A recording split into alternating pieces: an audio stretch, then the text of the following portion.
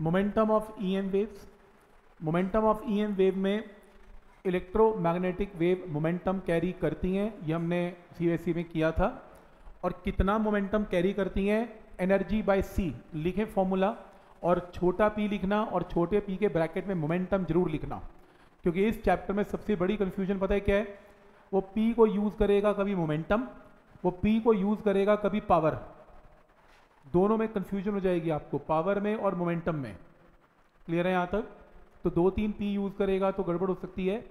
तो आप, और पी को यूज़ करेगा प्रेशर प्रेशर पावर मोमेंटम आप खुद ही पागल हो जाओगे पी को देख के।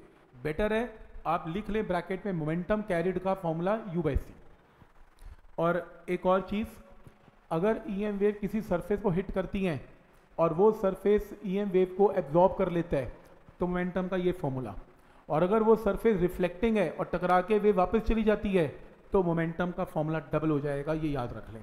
तो फॉर्मूला नोट कर लें, अगर एब्जॉर्ब करती हैं, सारी ई एम वेव एब्जॉर्ब हो जाती है मोमेंटम का ये फॉर्मूला ब्रैकेट मोमेंटम ज़रूर लिख लेना।